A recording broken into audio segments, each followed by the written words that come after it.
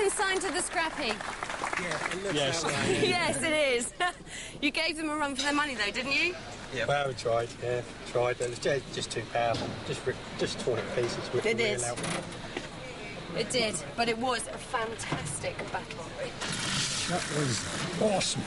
It was a run for your money as well, wasn't it? Yeah, we, Yeah. we were on uh, on the losing side for a little while. Then we got the disc working, then we pummeled them. Because at the beginning, was it just working properly? Yes, yeah. Oh, yeah. Yeah, all the way through. Yeah, that was fine. It's the noise it makes, though. Yeah. And explain what you have to do, because sometimes when it looks like it's slowing down, it's not, is it? Well, when we've hit the target, the motor is, uh, is still running fast. In fact, the disc stops. The motor has to be stopped. So I stop the motor immediately we have a strike. And that started up again very gradually. That's why we sort of back off to the. Uh, I shouldn't say this. Yes, you should. I, uh, our opponents might uh, think. Anyway, They're not listening. they're not listening. the, uh, we back off, get the speed up again, and go in. And we took the wheel off uh, one side, Yeah. and that was it. You literally have minutes now before the grand final. What's the problems you're facing? We've got a problem with the wheel, the which we wheel have to down the sort side. out. And anything else? Quick change to the Could be a- batteries. Because Right. we've, we've flattened them on that uh, battle, it was quite strong. A lot of uh, effort went in, and it's going to draw the battery down, so we'll have to change the batteries and have a look at that wheel. Because when you get to this stage, it's not just how good is your robot, it's how well it can stand the pace. That's right. Shows how close Stegosaurus came, though. But it's Hypnodisc flying through to meet Chaos 2 in the final. And while they repair, Craig, get your shin pads on. While our finalists take a much needed oil change, let's turn our attention to another less serious but no less brutal battle. It's been raging over the course of the series. It's final day for our Robotic Soccer Cup. The tackles have been hard, the fouls have been very foul, and the referee's been back in therapy. But now only the fiercest players remain, and a golden goal is all that stands between them and the footballing Hall of Shame. Let the trials begin.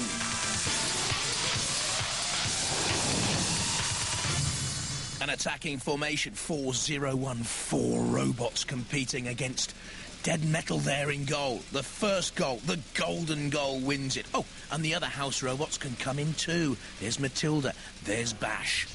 And there's the General, the first of our finalists. Took three months to build, electric driven, has a front lifting arm for control, an aluminium body shell, and the team Alan, Tom, and Hayden James.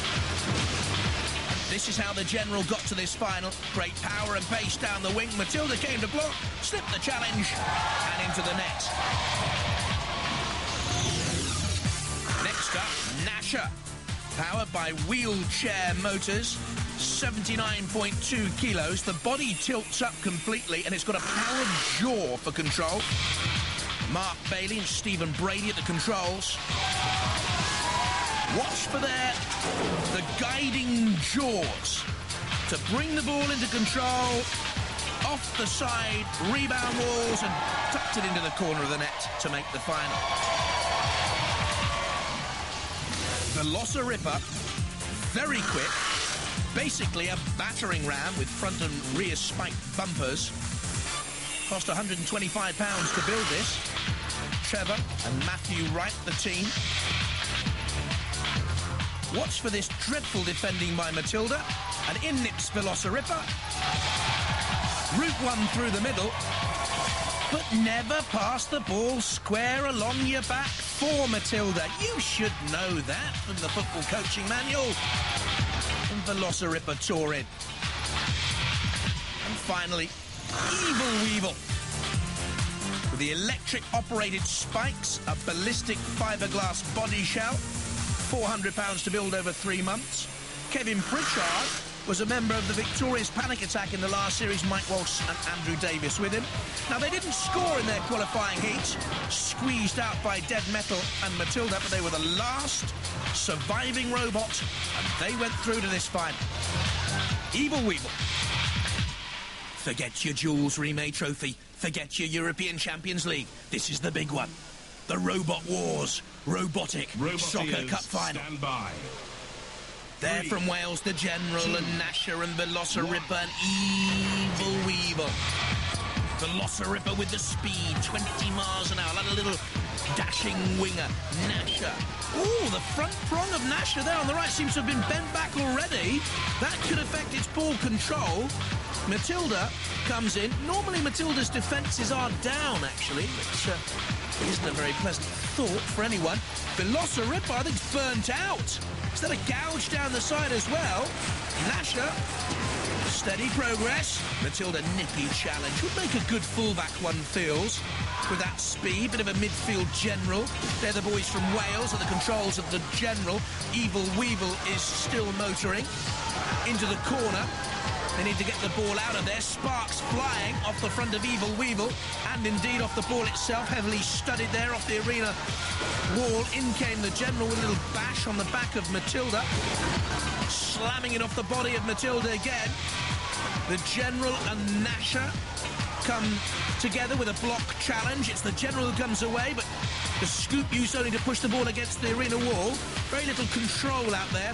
Someone needs to put a, a prong or a blade on the ball, boys, and uh, just bring this game under control. Matilda doing a guarding job, bit of a, a destructive job. A destroyer more than a creator, Matilda. I wonder if uh, Matilda prefers the Catenaccio system. Uh, well, certainly Nasher takes a sort of a Franco Baresi type challenge and is flung over. This is Matilda bobbling the ball beyond Evil Weevil. Evil Weevil's still alive. I'm not too sure about the other robots here in this final. The General, slow movement. Velociraptor long gone. Nasher's out of it. They need to bounce that ball off the arena wall. Matilda takes a chunk out of one of the arena blades. Matilda now just trying to push the ball along the side. It's come back into free play. Chance for Evil Weevil. Couldn't take advantage though. Slow to react. Going the, you're going the wrong the wrong way. The wrong way. That's it. Turn back. There's the goal. Remember the thing between the posts and the net. Ball goes in. Object of the game. Ah, what ball? Well, great balls of fire. At the moment, who's going to get the ball's on fire? This can only happen in Robot Wars. Let's be honest. The ball in the final of the Soccer Cup bursting into flames. Someone's got to score quickly here. Nasher's on his side. Who's left still mobile? Who will get the decision? The judges have to decide. Well, it was Velocirippa's first speed, but I think that did something to the engines, burnt out, immobilised. Nasher, an early touch that looked cultured. Yeah, Velocirippa was finished. Matilda played a massive role here, shielding the ball away from the house robots, but stopping them scoring, so therefore doing her job and doing it well. Uh, Evil Weevil tried to take out Nasher and succeeded. So good aggression from Evil Weevil. And do you know, I think that could be the most decisive part played in this entire final by Evil Weevil. And it was! Evil Weevil, crown champions, robotic soccer kings. Well done, Kevin Pritchard, Mike Walsh, and Andrew Davis. Just a couple of minutes to go to our grand final. Before that, our last battle of the series competition with a chance for you and a friend to win an all expenses trip to the Robot Wars studio to see the show being filmed, meet the presenters, and get the chance to actually operate the house robots. Phone 0900 133 8800 if you think this is the best battle of the series. Battle C is Panic Attack against Exterminator. The reigning champions, Panic Attack, taking more punishment from Exterminator. Some battle this. In comes Shunt. But it's Panic Attack driving Exterminator against the arena wall. A Shunt came in, the blade came thrashing down on Panic Attack. Exterminator away now. Panic Attack tries to get those two prongs in underneath Exterminator. Lifting, hoisting, grabbing, twisting, tossing, turning. So that was Battle C. Phone 09001 338800 if you think Panic Attack against Exterminator was the battle of the series. And if our judges agree with you, you could be selected at random to win the top prize or one of the 20 runners-up prizes of the new Robot Wars first World Championship video with 15 amazing battles never seen on TV, plus a free copy of April's Robot Wars magazine and a £25 voucher for the Robot Wars website stores. Lines close at midnight on Sunday, the 23rd of April. The winners will be announced on the Robot Wars website on Wednesday. Good luck to you all. Now, over to Philippa in the pits with Hypnodisc.